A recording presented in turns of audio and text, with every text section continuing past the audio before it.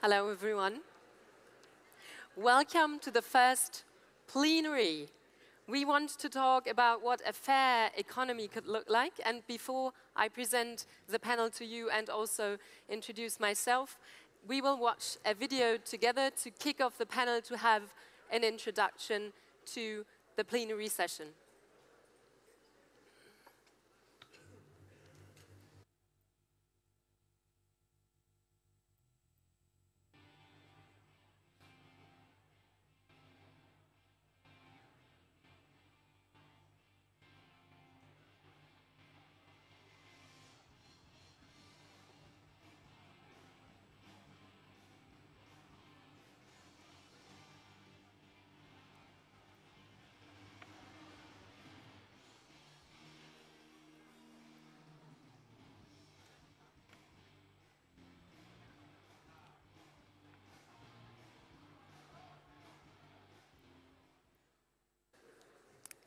Right, there we are back. Um, I just decided to stand because I'm excited about this session. I might fall off that chair. Good um, morning to everybody. My name is Almut Möller. I'm very, very happy and I feel indeed honored to be invited to chair this first session and panel. Thank you very much to PS2 inviting me again. I remember vividly the discussions I was allowed to help facilitating in Prague. So thank you very much for having me back. Um, I work in Berlin normally with the German Council on Foreign Relations as a, an analyst on European integration. And um, I'm excited about the setup of this particular session because what we're supposed to be doing is to respond to what you discussed this morning. There was a lot of work going on this morning in um, overall, I think it was 13 workshops where you engaged, interacted, already discussed very, very controversial issues.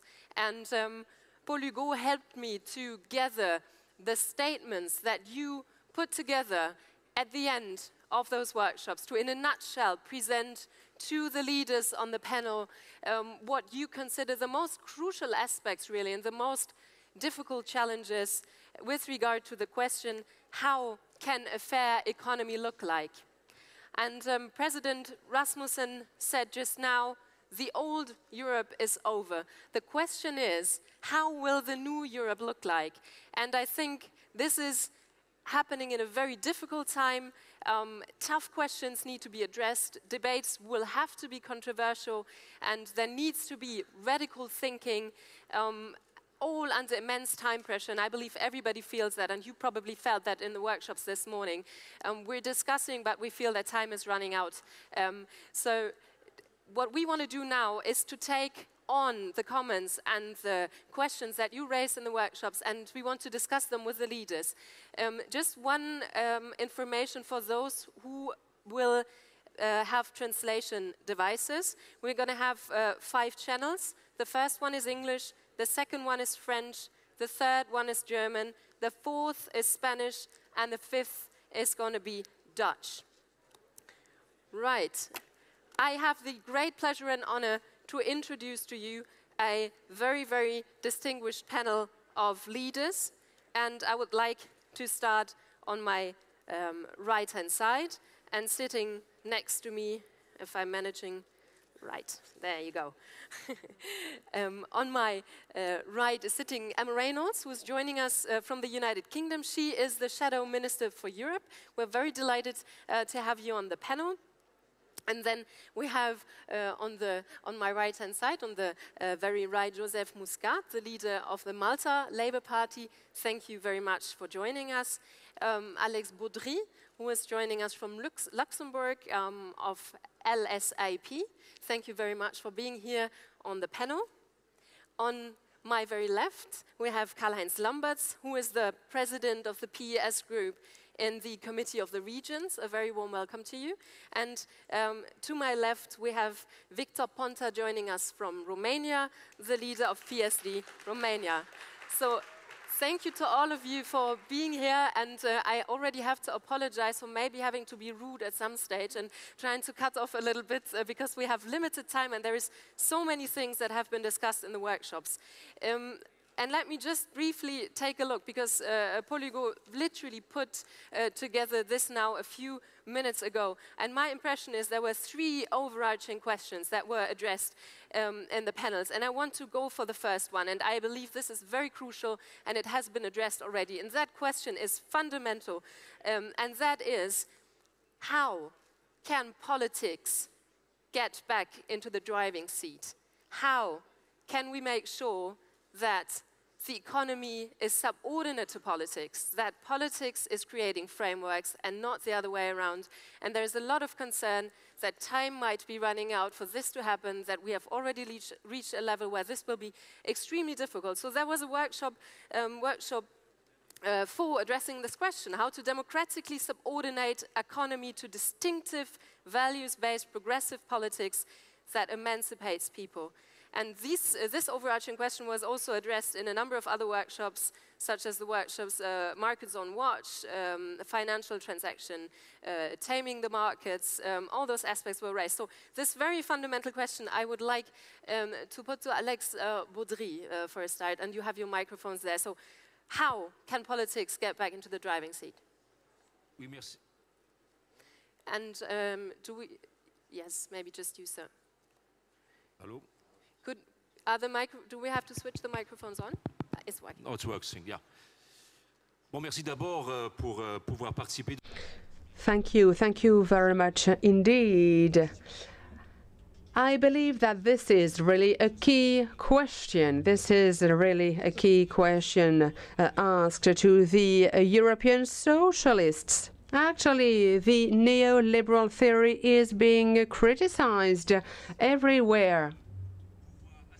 And I think that we should actually witness the end of this movement. And at the time when we should witness the end of this uh, movement, well, nothing has happened.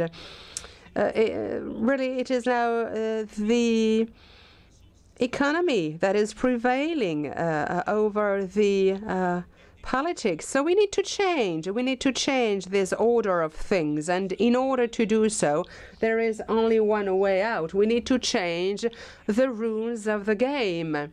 We need to change the rules of the game because without another regulation, we will not be able to change uh, this situation. And if we want to exit this logic of a market based society, it's not only a market economy we're talking about, it's also a market society.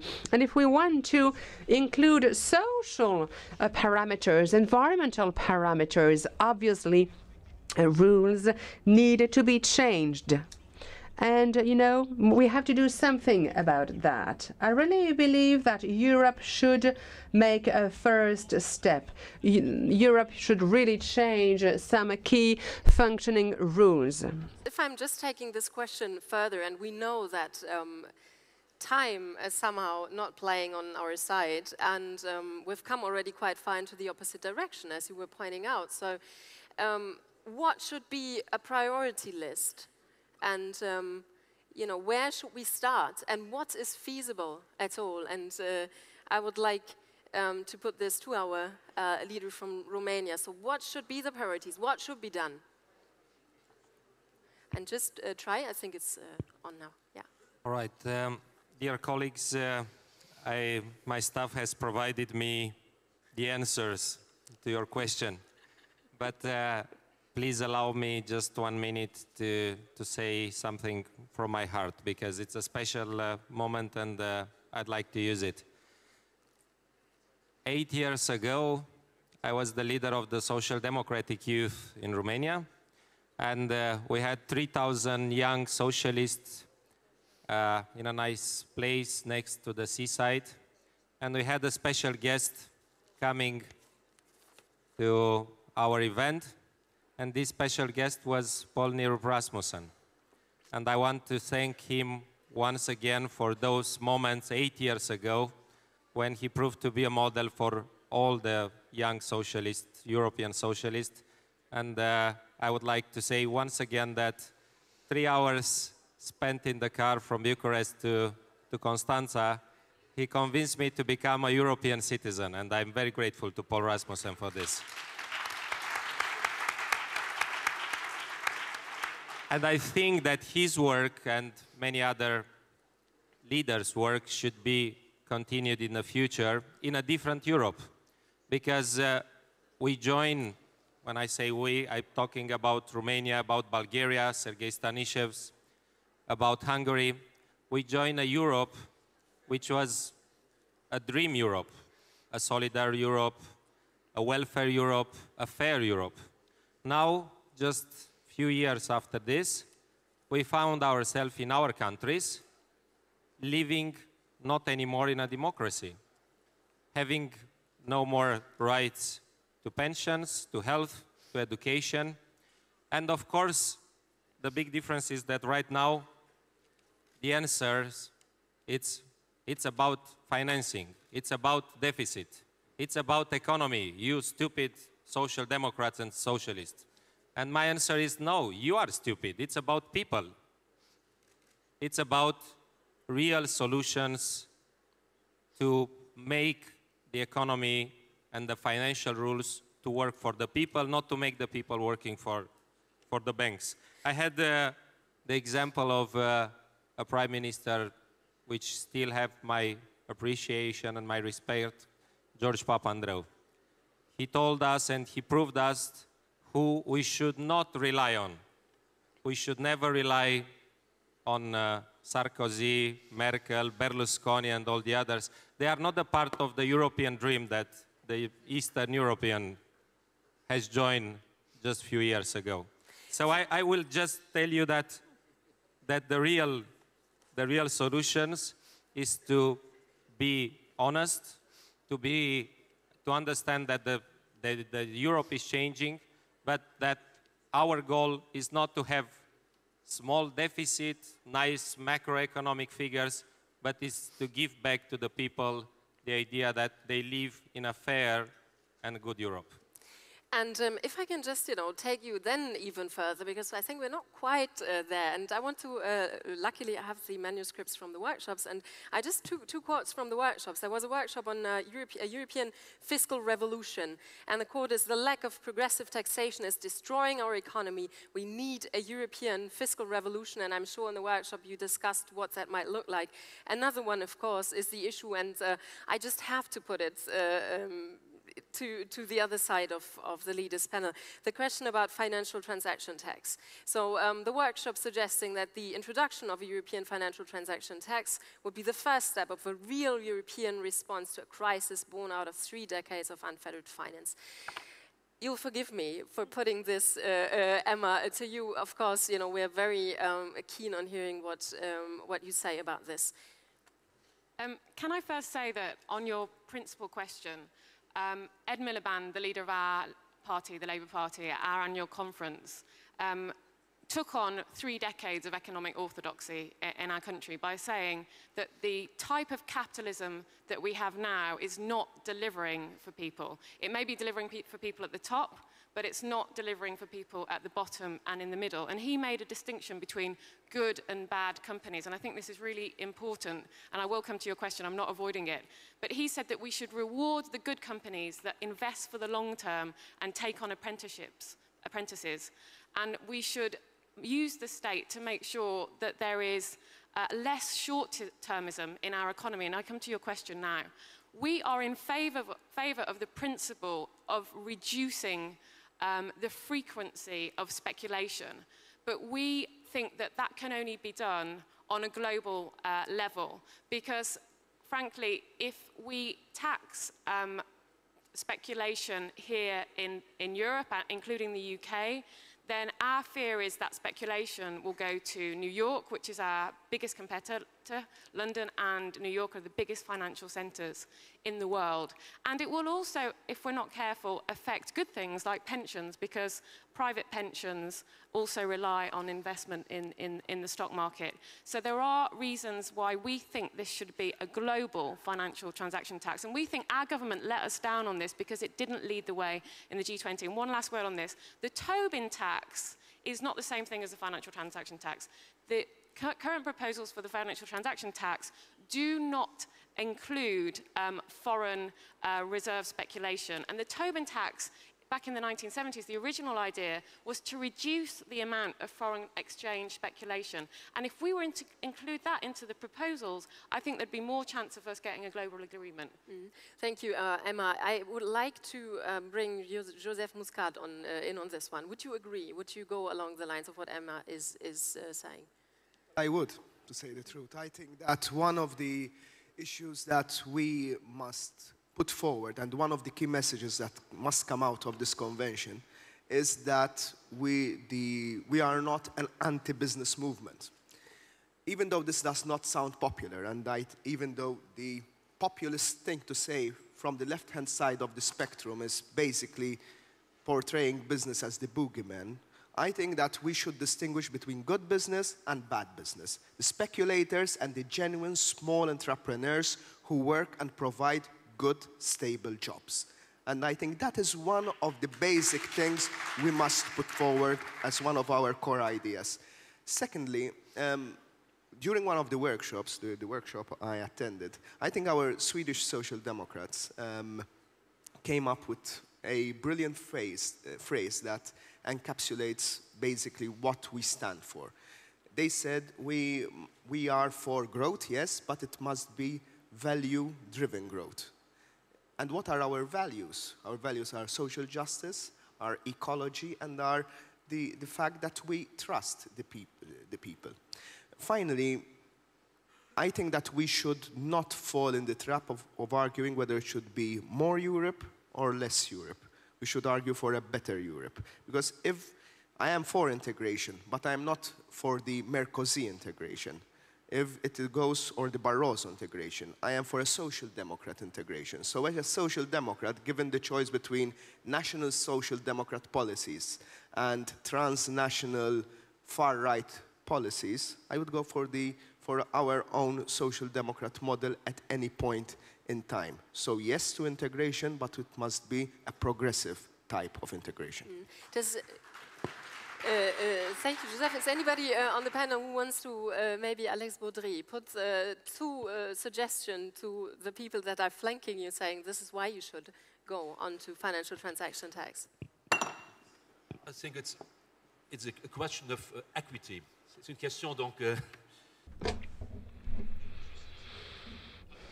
I think it's a question of justice, the involvement of the financial uh, sector in this uh, reconstruction phase of the European economy.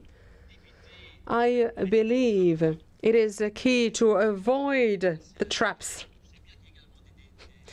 Uh, what about the golden rule? I know that some socialist um, governments have introduced this uh, golden rule, but uh, it is really about reducing the public uh, finance issues to a budget issue. You know, we're talking about something else. We're talking about the budget of the state.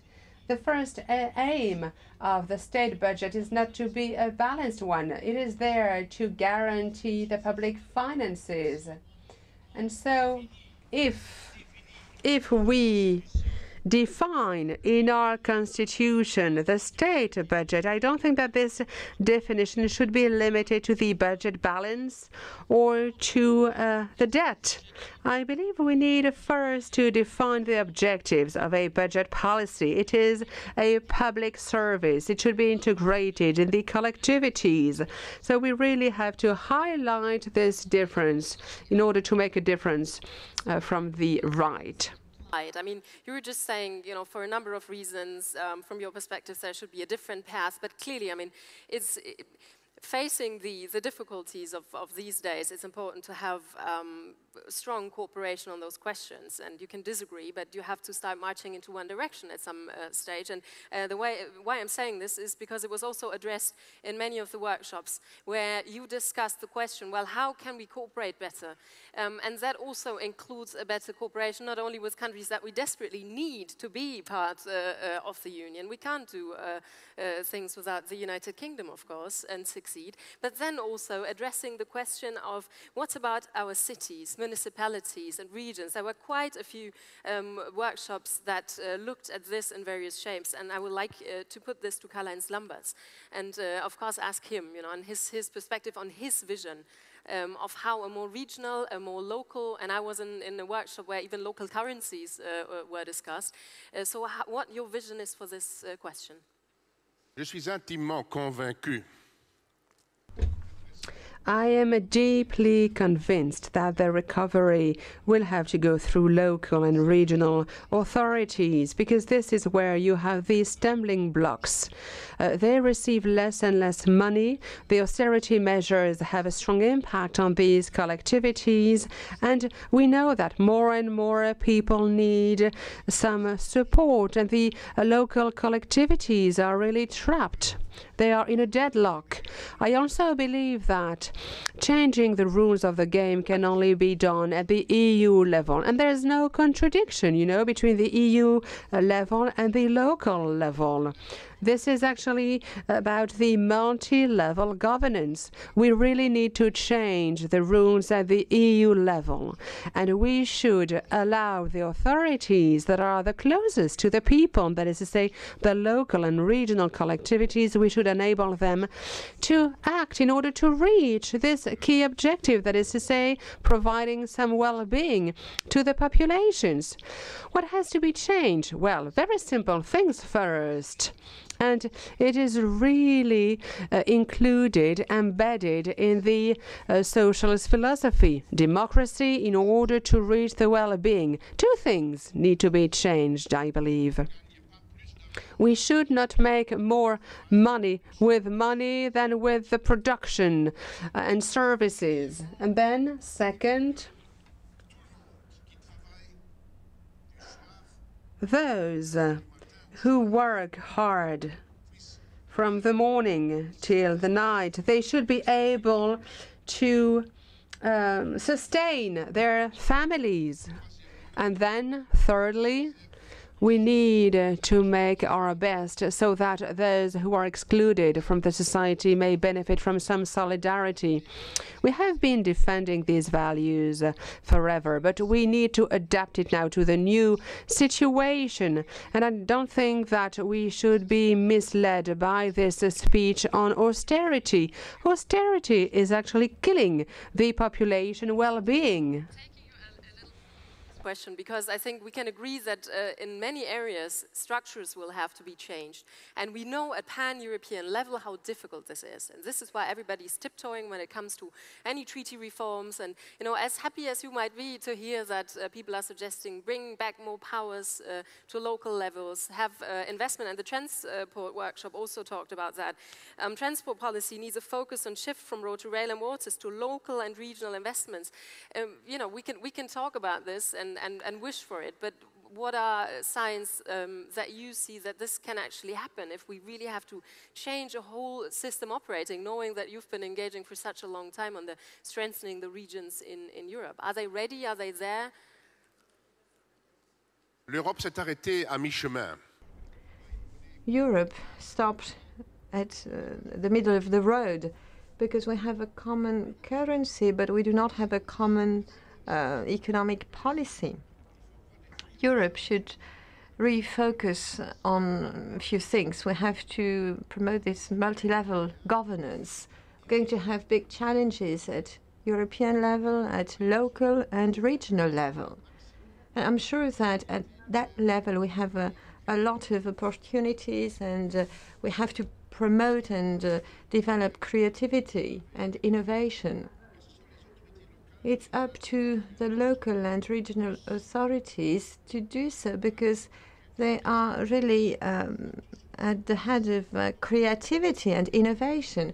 When you look at what is going on at local level, you can see that people try and develop new initiatives, innovative initiatives. The funding dimension has also to be included. It's quite paradoxical. If you take Belgium with a high indebtedness level, well, you have twice more savings than public debt. It means that money that people have should be used, should be put together to do something constructive and uh, to bring some added value at local and regional level.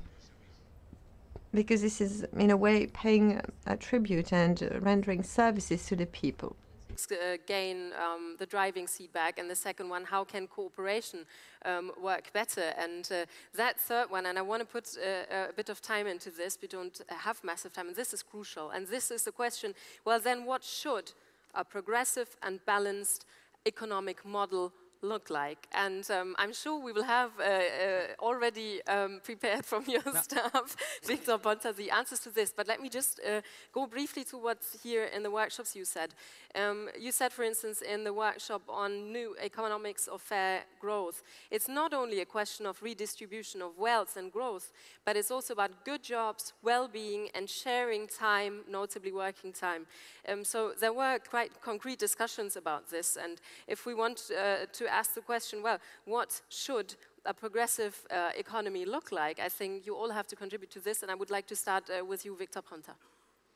You see, I, I have avoided some of the answers because the, the situation is not at all the same in our countries like here, because right now the European position, the leadership, uh, it's a very conservative and a very selfish position they do not really care about the, the country which, is, which are outside of the Eurozone.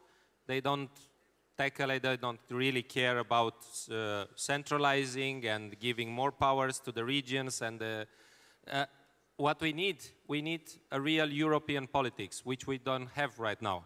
When I'm looking forward to have uh, a socialist president in France or a social democratic chancellor in Germany, I'm looking forward to have once again, after a few years, a European politics, which we don't have right now. Because otherwise, the situation in Romania, Bulgaria, Hungary do not, like, do, uh, do not look like the one in, in Germany or France.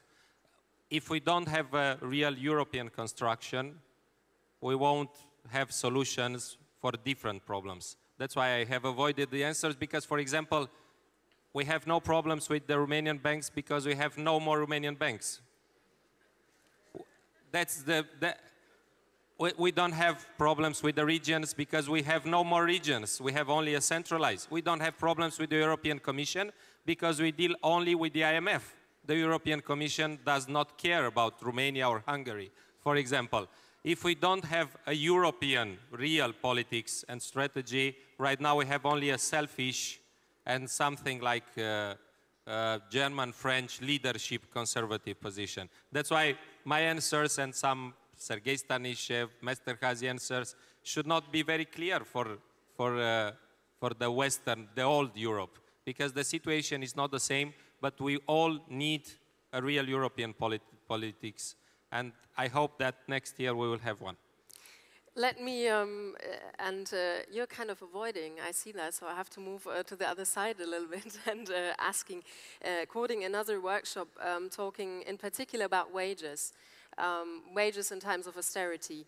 Um, Europe needs an alternative economic policy which is not based on wage cuts and austerity. We have to reverse the trend of increasing inequality in our society. So, um, Joseph Muscat, from your perspective, um, wh what's your response to those who put this together in the workshop?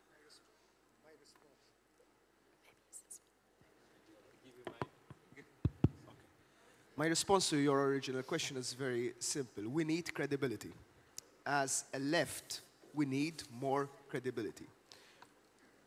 It is important for us to um, discuss and share ideas on how to distribute wealth. But I think first we need to answer a more fundamental question, how we create that wealth. And unless we are straightforward with our electorate, unless we are straightforward with our people that yes, we are better at distributing wealth. I think everyone knows that we are fairer than the right and the far right at having giving everyone an opportunity for success, at giving everyone a fair deal in our economy. What we need to convince people about is that we are also better at creating that wealth. Mm. Then this is, this is the core issue, I think the core issue is how to have a credible national and European policy in our, in our regards. Um, I think that we cannot come out of this convention as the people who don't care about deficits. We are the people who want growth. We are the people who realize that by to create better jobs, we need growth. But we have to be realistic also to say that, yes, we will prioritize growth, but we will not abandon public finances.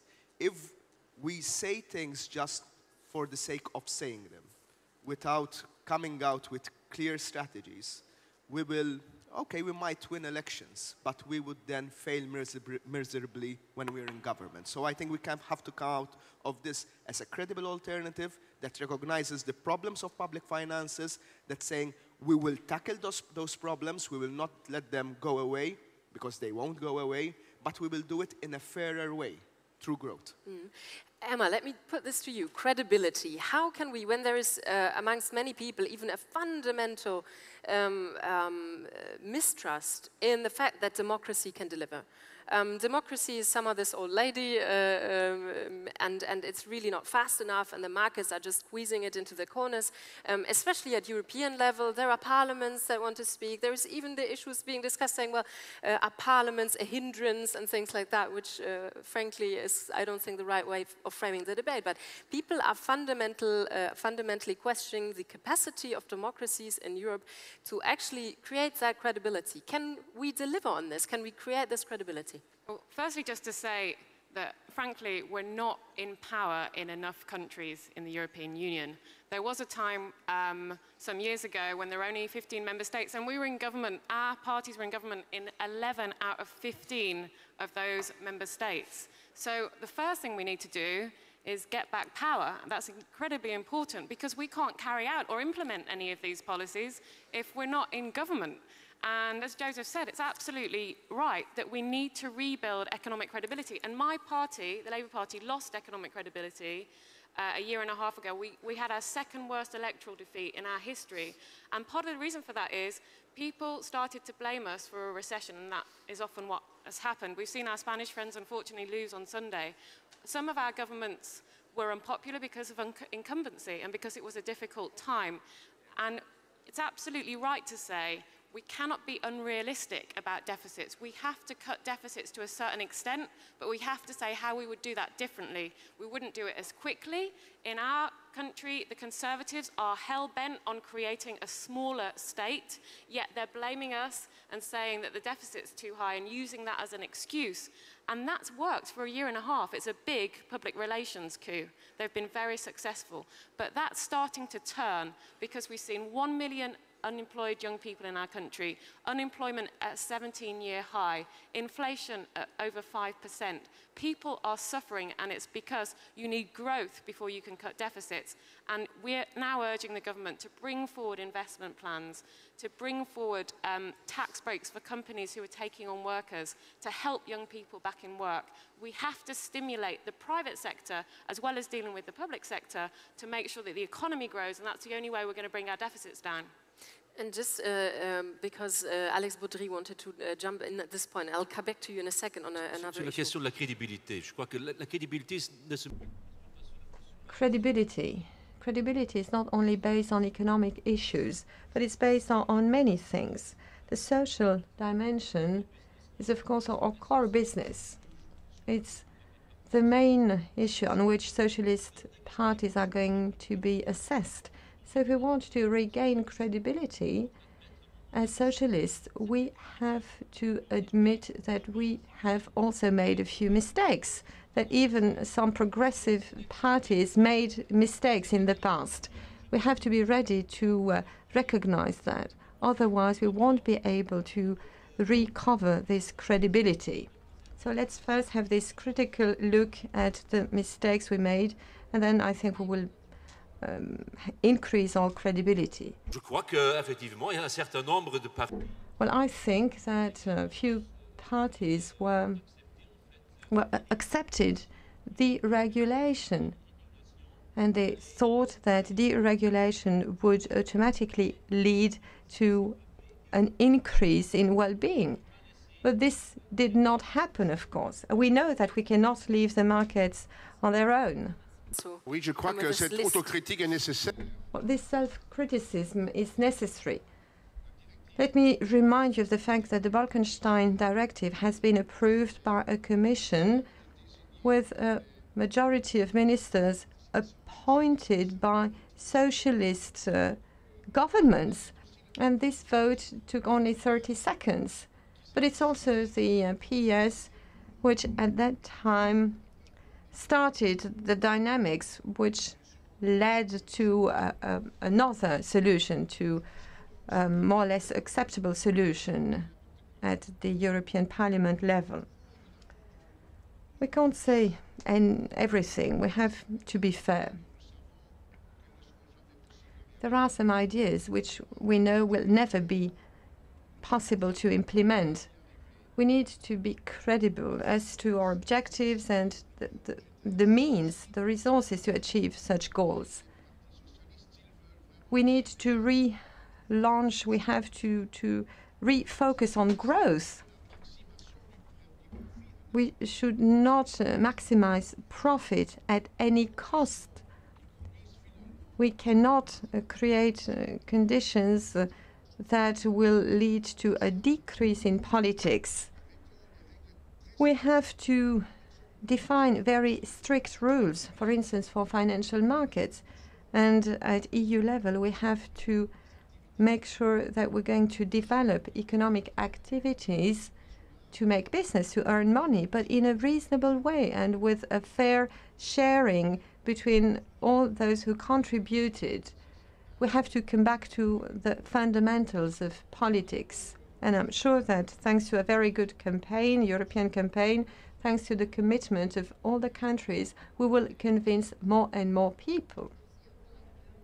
One final question that also comes uh, from the workshop, where the question was addressed how um, we can also help the people to cope with change.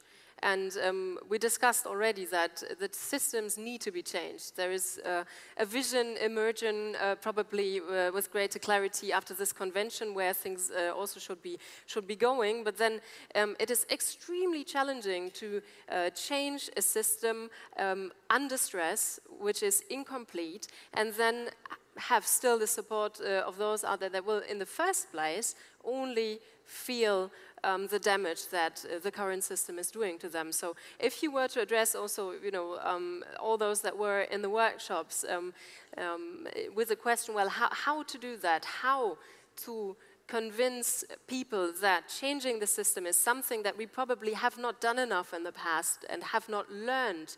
And I was just sitting next to uh, Hassan from Egypt, uh, who is in a country that is fundamentally changing. Do we have in our minds probably have to get used to a lot bigger changes? And how do we explain this to our citizens? So I, I would like to put the question to you, Joseph Muscat.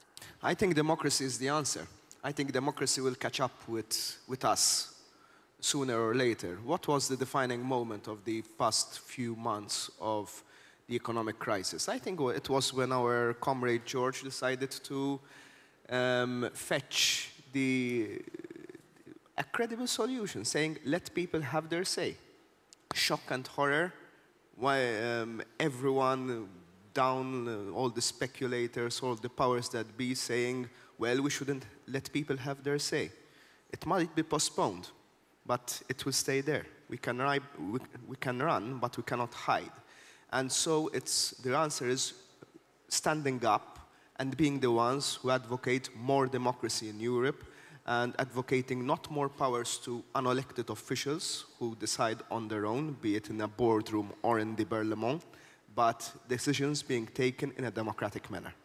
Emma, let me put uh, this to you. Democracy is the answer. Um, out there are many people that will um, essentially say democracy is the problem. And we're out camping here, and I put it really that far to make the point, you know, are out camping in St. Paul's Cathedral in the city of London and saying this democracy is not uh, in the interest of, of us people. And, you know, what do you respond to those who have, and, and I think we have to address this. There is a mistrust in democratic institutions, in particular on European level. And I'll bring others in on this question, you know, not only uh, the city of London uh, uh, is, is relevant in this regard. So, what do we say to those that say, well, democracy is the problem? Uh, well, I think it was Winston Churchill who said democracy is the least worst form of government. I think that's absolutely right. I don't see any alternative uh, to democracy. Well, there are alternatives, but they're pretty scary. And I think the Arab Spring has shown us just what power people have and how incredibly brave people are to challenge a system, a system in which they were oppressed, a system in which they didn't have freedom, a system in which they didn't have a say. And I was incredibly proud of the people who uh, protested in Tahrir Square, and they're doing it again. Uh, but, you know, we've had elections in Tunisia, we've got a democracy in Tunisia. I'm incredibly touched by what happened earlier this year in North Africa. And it, that just shows the power of people to drive change and to drive democracy, which is the best form of government, even if it's imperfect. Right, thank you. Um, yes, please. Uh, Alex Bodry wants to. Je dirais simplement que je crois que y a, la réponse doit tourner autour de deux notions.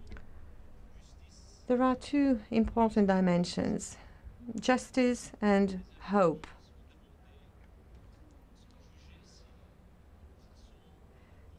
Each time we have to look whether the solution is considered as fair. We have to compare the effort and see whether it is uh, going to lead to a, a, fair solution.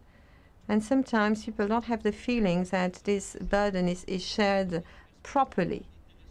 In Europe, there is a lack of uh, hope for people who very often are in a desperate situation. It's up to us as European socialists to combine this discipline, which is necessary, with growth and hope, hope for the future. Just very uh, final statements and contributions uh, by Karl-Heinz Lambertz and. C'est uh, la démocratie. Democracy is a solution. We have to convince people about our values. Hope hope for uh, this uh, life for now. We have to make credible the prospect of a change. And we also have to encourage the dialogue. Today, a lot of people are, are selfish, and uh, this comes first, before solidarity. We have to make sure that the only way out is based on solidarity that we should not underestimate the danger of people preferring to give up the democratic and the freedom in, uh, and because it, it happened in Europe in the 30s after a huge economic crisis, a lot of people in, in, uh, in Europe, they prefer dictatorships or something like that. I think it's easier to say than to do, but we must do it. Very credible leaders and very pragmatic and credible programs. Mm -hmm. Thank you, Victor Panzer. We're leaving on a, a concerned note, but I think this is very uh, good and important because uh, the questions that uh, we have to address are tough ones. Um, I think we managed on this panel to uh, address um, some of the questions, and they were yours. And I would like to thank uh, all those in the workshops that uh, made this happen and helped us guiding and having a debate. Um, Emma Reynolds, gentlemen, thank you very much for what I thought was a very good session. Thanks to you again. And we will now have two high-level speeches announced by Secretary General Philippe Cordery. Thank you very much.